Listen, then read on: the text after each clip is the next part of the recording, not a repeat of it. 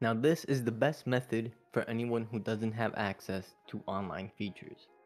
Story missions provide by far the most XP per mission offline. The earliest missions can give you upwards to 5000 XP during the first 10 levels, scaling all the way up to 50,000 XP towards the later game. This allows you to earn Mirian gems and high quality gear while progressing quest lines, which when completed will provide skill upgrades or legendary gear. Story missions are by far the best out of the previous methods for leveling up quickly while progressing throughout the game.